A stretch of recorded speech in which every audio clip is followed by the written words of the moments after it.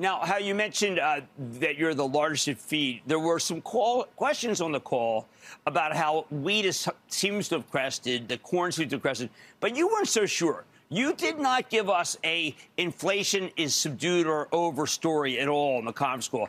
Realist or just a basically uh, an acceptance of what's going on in the world?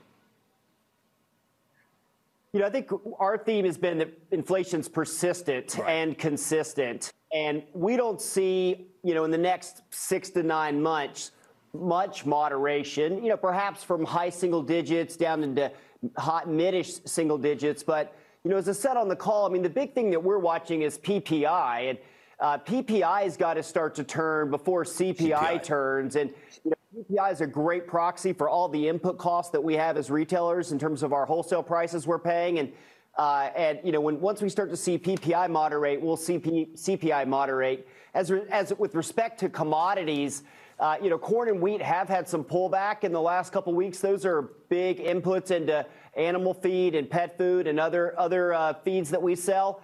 Um, but I think the jury's out if that's going to hold. You know, there's a lot of assumptions on yield, a lot of assumptions on cost uh, and Ukraine and Brazil and a number of other factors that go into play. And, and I think the jury's still out on how that's going to play out for the back half of the year. Yeah, I agree with you.